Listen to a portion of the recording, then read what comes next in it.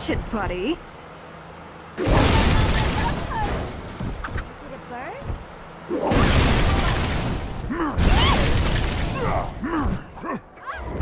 Hey, I'm walking here.